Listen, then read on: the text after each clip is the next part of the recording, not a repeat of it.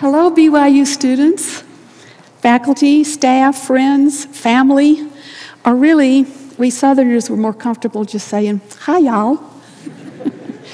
now, before we launch into this devotional, I have a little experience to share that I had on May 1st, 2014, with your wonderful and at the time brand new BYU president, even President Worthen. I and about a thousand Relief Society sisters and Sister Worthen and President Worthen were standing at long tables in the field house.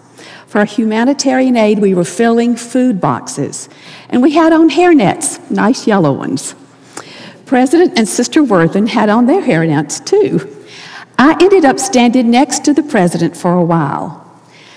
His work was to hold open a plastic bag and I was to pour beans and lentils into the bag. And we were doing pretty well.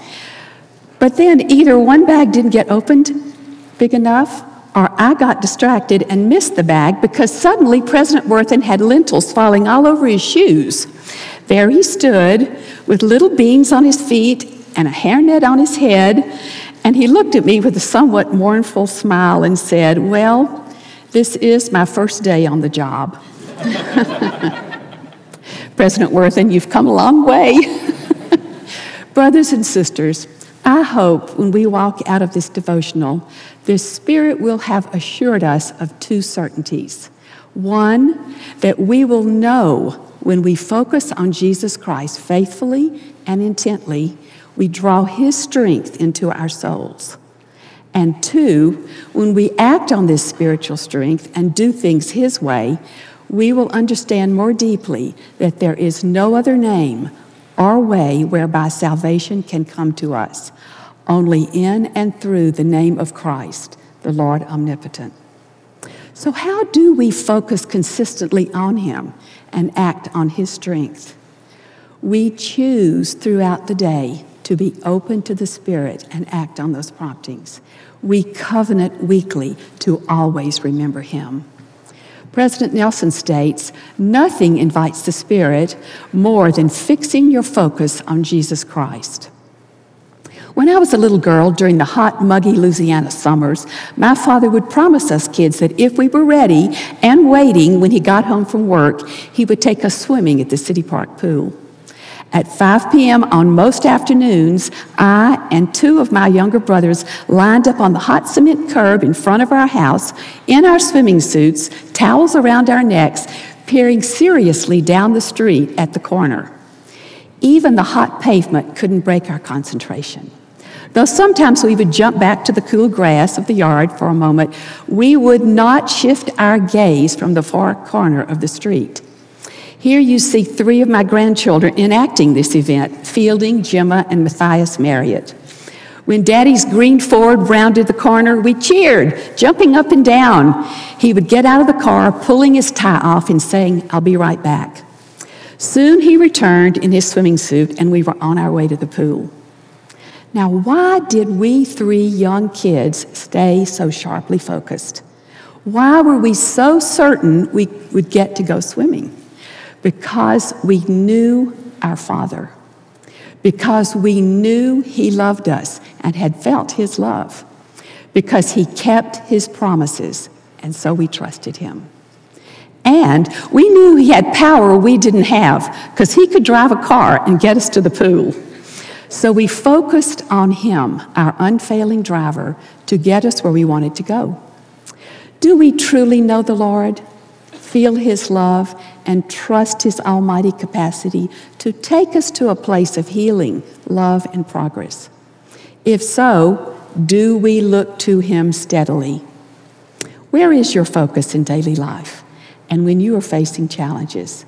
President Nelson said, My brothers and sisters, I plead with you to make time for the Lord. What is the ratio of time we spend between making time for the Lord and making time for the world? When we want answers, do we first look to the trending opinions of others? Do we first search the internet hoping we'll find the way to have confidence in social situations or tips on getting along with our roommate or even ways to be healed from the deepest wounds in our hearts? Or is the Lord far from the thoughts and intents of our hearts? If we only depend on the world and its answers, we're going to be disappointed sooner or later. Spiritual wisdom, real peace, healing, and godly discernment come to us from Jesus Christ through the Holy Ghost, not from opinions of the world. We choose the direction of our thoughts and actions. We choose where we turn for help. It takes mental effort to look to Christ when other places offer quicker answers. The more we look to Him, remember Him, and learn of Him in the Scriptures, the more we will trust Him and go in His name to Heavenly Father for direction. I had a delightful conversation with an Olympic champion recently. She is Noelle Pikus Pace, winner of the silver medal in the skeleton race in the 2014 Olympics in Sochi, Russia. I asked Sister Pace and her husband Janson Pace about the skeleton and how in the world she steered it, since she was flat on her stomach with her hands at her sides as she moved along the ice at about 90 miles an hour. Let's hear what she had to say. Noelle, thank you. It's a privilege to be here in your beautiful home with you and Janson. I'm so honored that you would spend time with me. I um, don't know a thing about the skeleton racing or sledding or however you call it, but would you just talk to us about what it is, how you how you race, how you train, how you steer, how you flop down on your tummy on that sled and scoot down the, the track, and and what part Janson's played? So, skeleton is a crazy headfirst sport where an athlete runs and jumps headfirst onto their stomach on a tiny little cookie sheet. and we fly down the side of a mountain going 90 miles an hour. And we steer using our shoulders and our knees, applying pressure, just light pressure to guide the sled the entire way down a mile long course to, to hopefully ultimately cross that finish line. Oh. And the sled is only about three feet long. Yeah, it? yeah, it's about three feet and it weighs about 65 pounds, so it's got some weight to it. And Janson actually built and designed my sled for the 2010 and 2014 Olympic Games. So he actually knows a lot more about the content of the sled, and then I enjoy driving it down the track. Oh, Janson, how, how, did, how did you know how to do this, and how does she move one shoulder and get it to go? I mean, what does the sled do?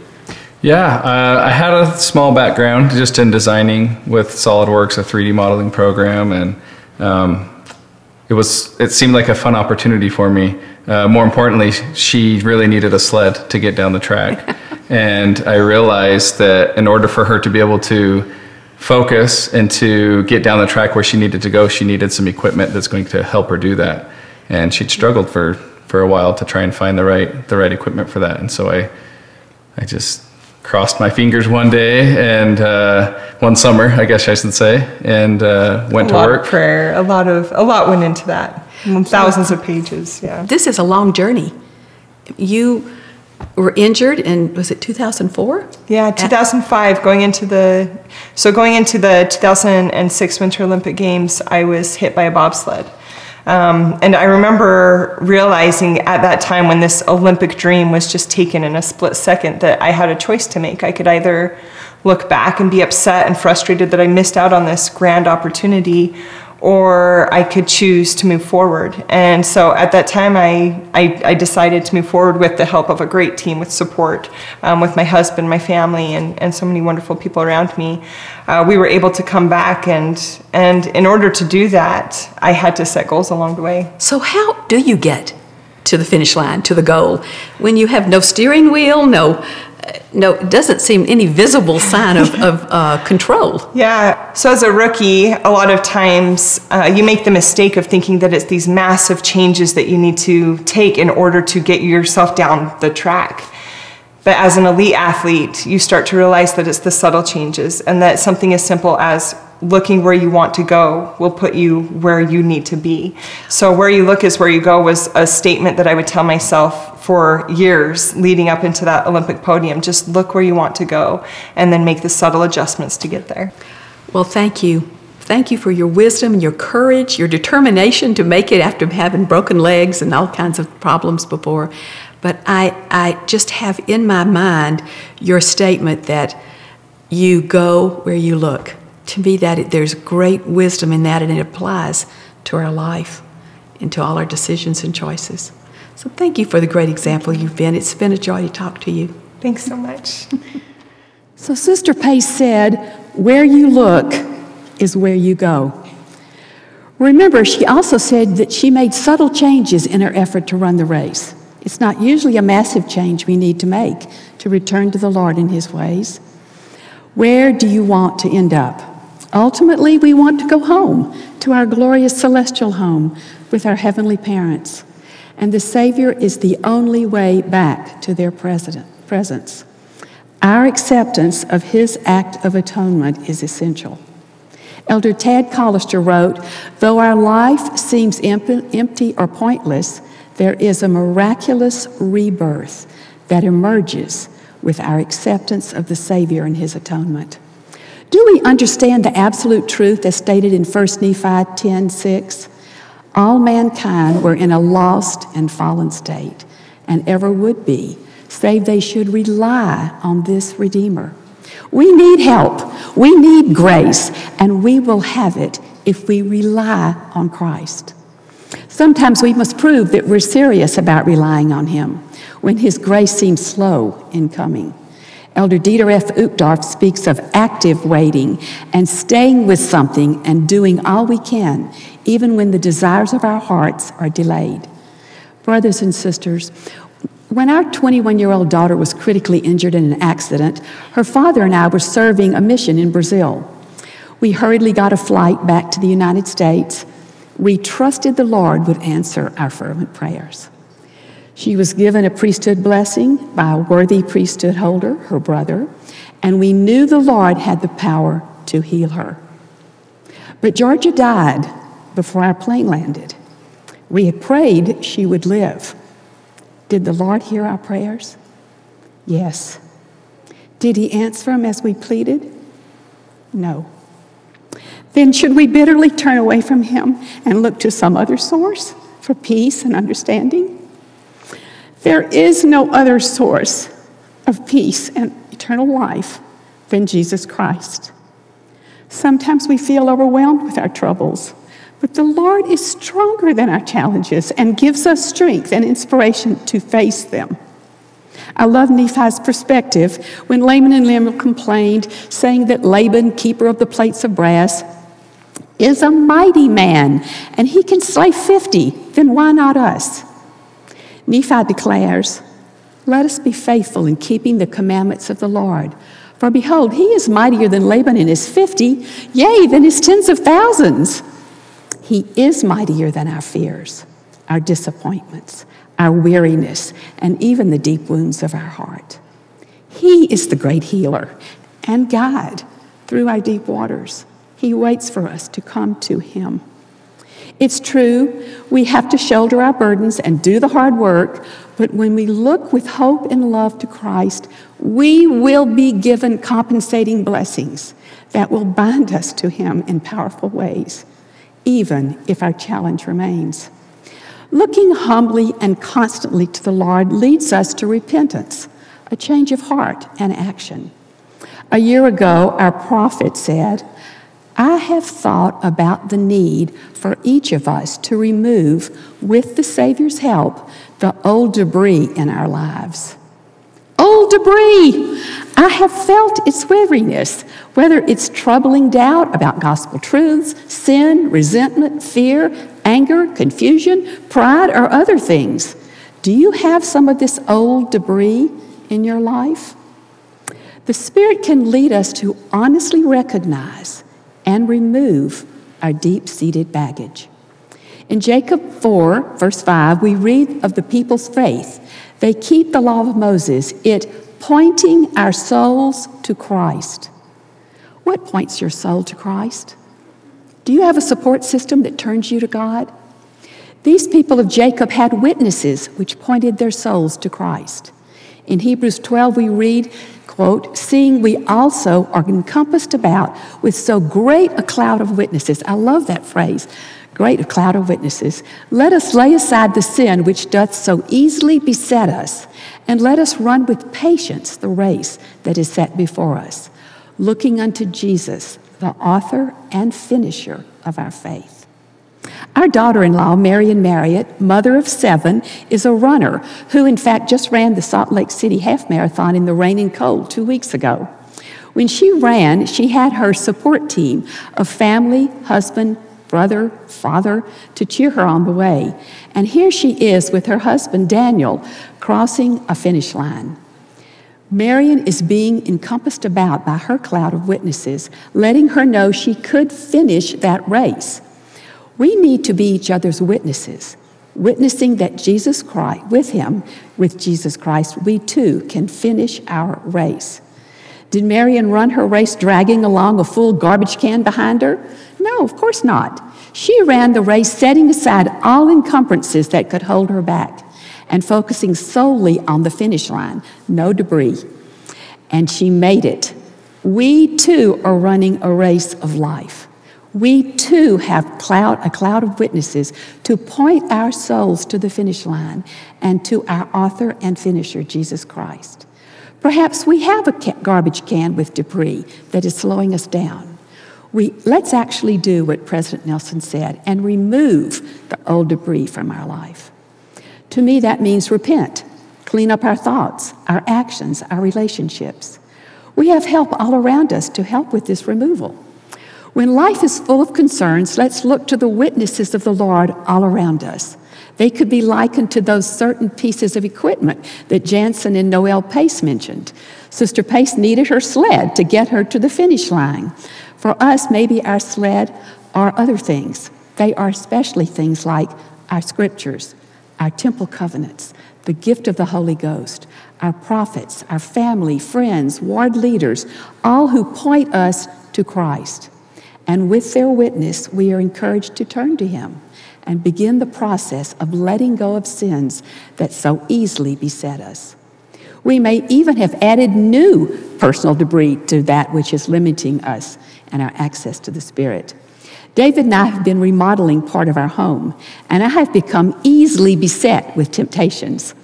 I have to be on my guard because when I sit down to study scriptures each morning, if I'm not careful, a strange phenomenon occurs. I reach for the scriptures, and lo and behold, I find a home decor magazine in my hand. if I stare at this magazine instead of moving it away, I suddenly realize that there is a lampshade or a rug for sale, and I'm sure I need these. And then I have to hop on the laptop to see if they're on sale and find it. And there I go, down a home decor rabbit hole, while the scriptures just wait. Now, those magazines aren't sinful, but they don't matter compared to eternal truths. They are powerless to bring us to spiritual guidance back to the Lord. In 2009, Elder Dieter F. Uchtdorf gave a conference talk on what matters most. He spoke of a plane crash in which over 100 people were killed. After the accident, investigators tried to determine the cause. The landing gear had indeed lowered properly. The plane was in perfect mechanical condition. Everything was working properly, all except one thing a single burned out light bulb. That tiny bulb, worth about 20 cents, started the chain of events that ultimately led to the tragic death of over 100 people. Of course, the malfunctioning light bulb didn't cause the accident. It happened because the crew placed its focus on something that seemed to matter at the moment while losing sight of what mattered most. What do you want most? What matters most to you? Truly, Sister Pace is right. Where we look is where we go. So, in our daily plans, actions, and conversation, let's look to the Savior connecting to the source of our strength and happiness. Focusing on eternal things requires mental, emotional, and spiritual effort. President Nelson counseled us, quote, the Lord loves effort, and effort brings rewards, end quote. We really can't be casual if we're going to successfully obey and connect with the Lord. What does it mean to love God with all your might? Have you ever stretched to your absolute limit? Have you ever given everything in you to keep Him in your daily thoughts and attitudes? We were rafting on the Green River some years ago, and, I, and I, we had been told by our guide to stay in the boat, or if we decided to jump out, to stay close, because if we got close to the rapids, he couldn't get us. And if we were close to the rapids, we were to turn and put our feet out and push off the rocks as we went through them. I did not like the sound of pushing off the rocks or being bounced around in the rapids. But I was out having fun in the water and, was, and I was moving rather quickly ahead of the raft when I heard the loud sound of the rapids ahead. I turned back and yelled, Pick me up!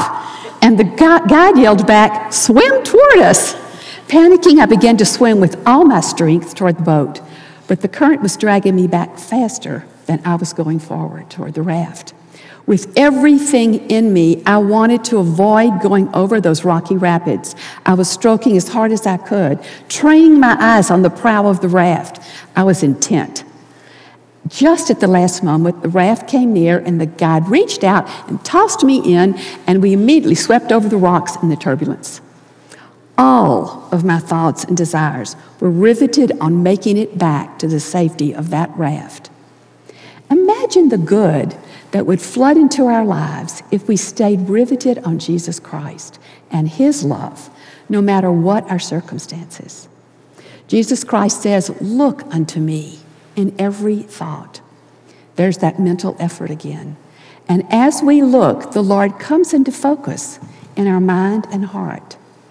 Alma the Younger is keenly focused as he reaches for the Savior, explaining in these words While I was harrowed up by the memory of my many sins.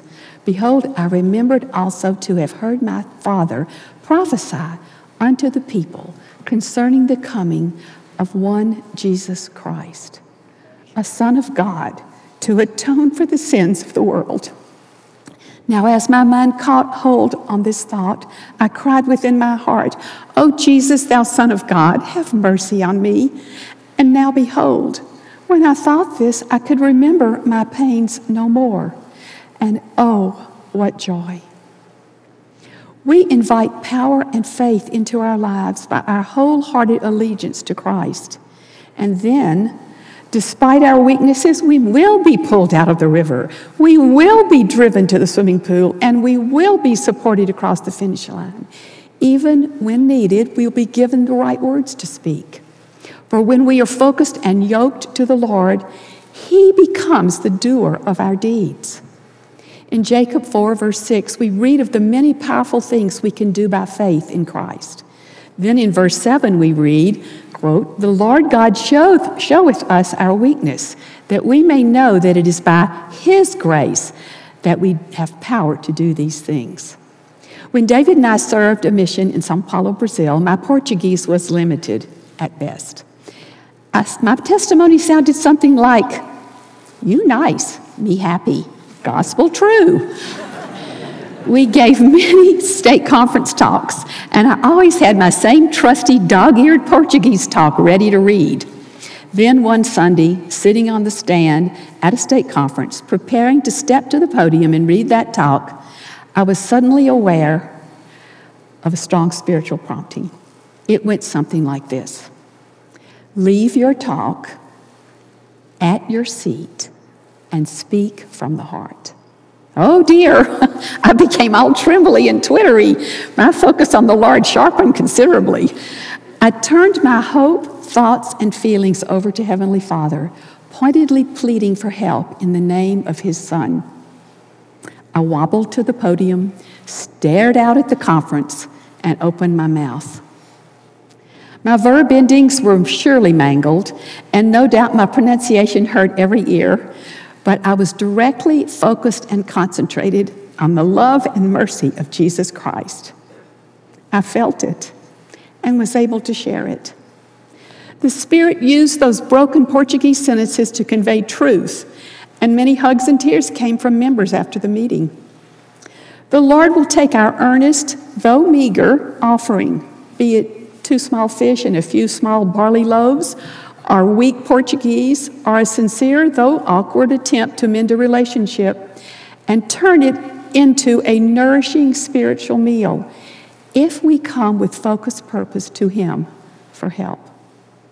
We really have no power to create good. All good comes from God. King Benjamin tells us to remember our own nothingness. Ammon says, I know that I am nothing. And Moses declares, Now I know that man is nothing. Of course, we do have great value, but our mortality and fallenness render us powerless to change ourselves and progress in truth and happiness. We have great need of a Redeemer, and the Lord wants us to understand this and look to Him. And so, as we do our best, and even as we face disappointments that life brings to all of us, we still look to and act on our deep trust and obedience to Jesus Christ. And we are promised that we will prosper in the land. He is our hope. The French artist Eugene Burnand created a most poignant painting. In fact, we have a print of it hanging in our home, where it reminds us to look to the resurrected Lord. In this art, named Lively Hope, we see two apostles, Peter and John, running across the Jerusalem landscape at daybreak, ostensibly toward the tomb. Their faces peering hopefully, trustingly forward as their coats fly back and their hands clasped in front. Their entire being is pointed toward the resurrected Lord. May we take time each day to look to our one source of salvation and healing, power and goodness, our Savior Jesus Christ. And as we do, I testify that He will draw us close to Him, will give loving grace in our daily lives, and in time, bring us back to our heavenly parents. In the name of Jesus Christ, amen.